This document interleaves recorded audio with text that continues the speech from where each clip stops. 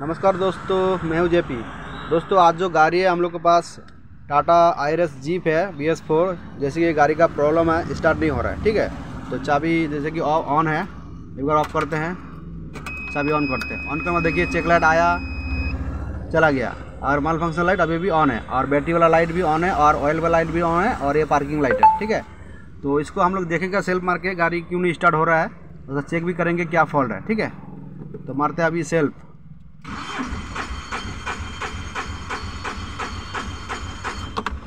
दोस्तों, जैसे कि देख पाया अभी आपने, गाड़ी स्टार्ट नहीं हो पाया, ठीक है? तो अभी हम लोग इसका क्या फॉल्ट है, उसको भी चेक करेंगे, देखेंगे, और उसका सॉल्व भी करेंगे गाड़ी को स्टार्ट भी करेंगे आज।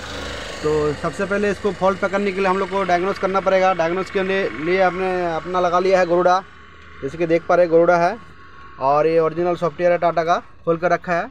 और ये गाड़ी है बी एस फोर तो सबसे पहले हम यहाँ पे जाएँगे बी एस फोर में। सॉरी नहीं, ऊपर है, वहाँ पे। देखिए, यहाँ पे सबसे पहले यहाँ पे बी एस फोर सिलेक्ट किया हुआ करके रखे हैं। और बी एस सिक्स होता तो यहाँ पे सिलेक्ट करना होता। तो बी एस फोर में हम सिलेक्ट करेंगे, ठीक है? सिलेक्ट करने के बाद यहाँ पे नीचे आएँगे। नीचे आने के बाद एस में जाएँगे। यहाँ पे देखिए एस में जाएँगे, ठीक है? हाँ एस में जाने के बाद यहाँ पे देख पा रहे ये गाड़ी है आयरस 600 सीसी का आयरस जीप 600 सीसी ठीक है? कैमरा थोड़ा ब्लर कर रहा है। ठीक है? तो यहाँ पे हम लोग क्लिक करेंगे। देखिए क्लिक करने के बाद यहाँ पे सब कुछ सिलेक्ट हो चुका है। 600 सीसी इंजन है, इसका आयरस जीप है। तो अभी इसको क्या करना पड़ेगा? अभी यहाँ पे करेंगे नेक्स्ट नेक्स्ट जाने के बाद, ये देखिए, ये दो ऑप्शन आया जो दो मॉड्यूल है इंजन मैनेजमेंट सिस्टम और व्हीकल लोकेशन ट्रैकिंग यूनिट लेकिन इसमें व्हीकल लोकेशन ट्रैकिंग यूनिट इसमें नहीं है। इसमें सिर्फ़ है इंजन मैनेजमेंट सिस्टम तो इसमें करेंगे हम लोग स्टार्ट स्टार्ट पे क्लिक ठीक है? स्टार्ट पे क्लिक करने के बाद, जैसे कि यहाँ पे देख पा रहे है, ये सारा कोड आ रहा है। जैसे कि देख पा रहे एग्जॉस्ट गैस ए ए फ्लो एक्सिप्सिप्स जो भी है, बस मतलब इसमें टेम्प्रोरी है। ये कोड डिलीट हो जाएगा, लेकिन इस कोड के वजह से गाड़ी स्टार्ट का प्रॉब्लम नहीं होना चाहिए, ठीक है? तो एक बार हम ऑल डीटीसी भी देख लेते हैं यहाँ पे। ये जैसे कि यहाँ पे एक्टिव डी है तो यहाँ पे क्लिक करेंगे एरो में। पहले क्लिक करने के बाद यहाँ पे ऑल डीटीसी में क्लिक करेंगे। ऑल डीटीसी में क्लिक करने के बाद भी यही कोड दोनों है। और बाकी कोई दूसरा कोड नहीं है। तो इसको एक बार करते हैं हम क्लियर यहाँ पे देख के जैसे कि देख पा रहे क्लियर फॉल कोड तो क्लियर क्लियर करने करने के इस यहाँ पे करेंगे एस एस करेंगे, अगर सेव नहीं करना करेंगे नो ठीक है? जैसे कि जैसे कि देख पा रहे हैं, कोई फॉल कोड नहीं है तो एक बार करेंगे इसको बैक ठीक है? बैक करते हैं बैक नहीं हो रहा तो एक बार और हम डी कर लेते हैं कोई फॉल कोड है क्या? इसमें भी हम लोग एक बार डी और कर लेते हैं। इसमें करते हैं क्लिक क्लिक क्लिक करते देखिए, ये कोड अभी भी है क्लियर नहीं हुआ है, ठीक है? तो एक बार और एक बार क्लियर करने की कोशिश करते हैं।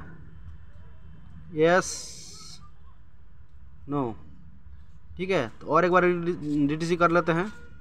जैसे कि देख पा रहे दोस्तों, अभी ये clear fault code confirm this is there is no confirm confirm है डी मतलब अभी कोई फॉल कोड नहीं है। तो अभी एक बार देख लें सेल्फ मार का स्टार्ट होता है कि नहीं है। तो मारेंगे अभी सेल्फ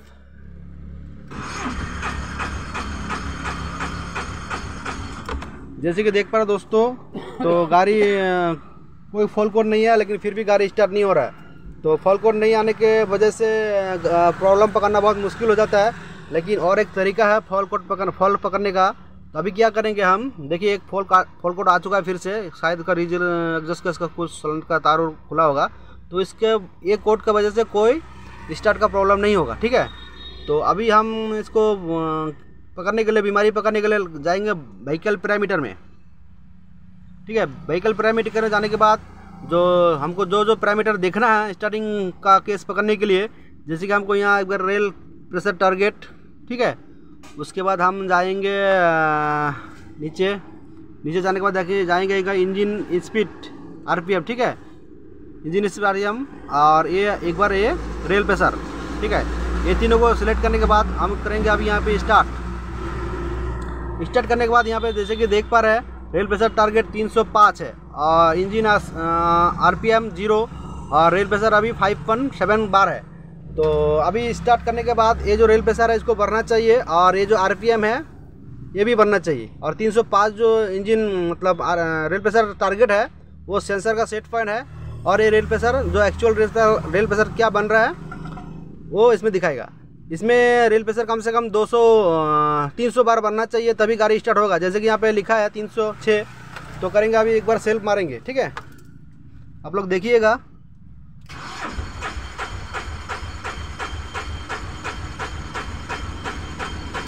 जैसे कि देख पाए दोस्तों, रेल प्रेशर भी नहीं बन रहा है, और एक बार ये देखिए इंजन का जो स्पीड है आरपीएम करेंट सेंसर का जो सिग्नल बताता है, वो भी यहाँ पे ज़ीरो है।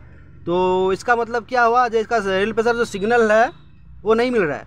तो अभी हम लोग क्या करेंगे? अभी जाएँगे हम लोग इंजन का नीचे, जहाँ पे rail pressure crank sensor crank sensor लगा हुआ है। तो क्रैंक सेंसर अभी चेक करेंगे उसका फॉल्ट है क्या। ठीक है? तो चलते हैं अभी नीचे।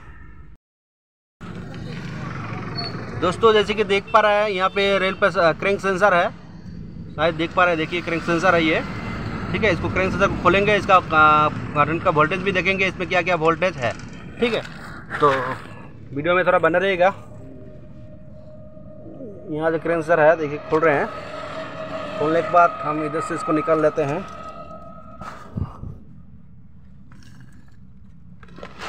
ठीक है? ये देखिए क्रैंक सेंसर का वायर है, दो वायर है। जिसमें दो वायर में ढाई ढाई वोल्ट आना चाहिए two point five two point five तो इसको हम लोग मल्टीमीटर से चेक कर लेंगे। पहले इसे देख लेते पीछे तार तो टूटा नहीं है। पीछे देख लेते तार टूटा नहीं है। तार सही है। खींच के भी देख लेते वायरिंग सही है। ठीक है तो इसको देख लेते हैं वोल्टेज भाई मल्टीमीटर देना। दोस्तों देखिए हम लोग एक तार यहाँ पे लगा चुके हैं और मल्टीमीटर में भी आप देखिएगा 2.5 वोल्ट आ रहा है ठीक है? तो और दूसरा भी, भी आप लोग चेक कर लेते हैं उसमें कितना वोल्ट आ रहा है। तो थोड़ा बना रहेगा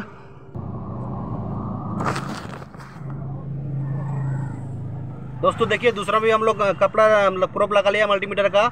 और इस ए भी देख लेते हैं ये भी टू पॉइंट फाइव लगभग फाइव वोल्ट है मतलब ढाई वोल्ट है। तो इसका मतलब क्या हुआ? वायरिंग जो है, इसका वायरिंग सही है। तो अभी क्या करेंगे हम लोग? इसका सेंसर जो है, इसको क्रैंक सेंसर खोलेंगे, खोल के चेंज करेंगे। चेंज करने के बाद फिर आप लोग को हम स्टार्ट करके दिखाएँगे। ठीक है दोस्तों? दोस्तों देखिए, गाड़ी में आ चुके हैं। अभी गाड़ी को करेंगे स्टार्ट और वो भी देखेंगे आरपीएम उसमें बता रहा है कि नहीं बता रहा है। ठीक है? तो मारते हैं सेल दोस्तों, जैसे कि देख पा रहे हैं, गाड़ी हो गया स्टार्ट और ये देखिए आरपीएम भी बढ़ रहा है, देखिए हज़ार हज़ार बार, ठीक है, हज़ार आरपीएम का मतलब हो गया बारह सौ, तेरह सौ, जैसे जैसे जैसे रेस करेंगे, वैसे वैसे बढ़ता रहेगा। और रेल प्रेशर का रेल प्रेशर भी देखिए, तीन सौ से ऊपर है। यहाँ यहाँ जैसे, यहाँ पे भी तीन सौ से ऊपर दिख रहा है मतलब यहाँ पे जितना दिख रहा है, वहाँ पे इतना बनना चाहिए। मतलब थोड़ा आगे पीछे चलेगा वो प्रॉब्लम नहीं है, ठीक है। और चेक लाइट भी दिखा देते हैं गाड़ी का, कोई चेक लाइट कोई इंजन लाइट नहीं है। अभी गाड़ी होगा बिल्कुल परफेक्ट ठीक है। तो और एक बार बंद करके हम स्टार्ट करके दिखाते हैं आप लोग को। एक बार बंद करें स्टार्ट करेंगे और अभी ऑन किया। लाइट आया, गया। मलबक से लाइट गाड़ी स्टार्ट करने के बाद जाएगा ये।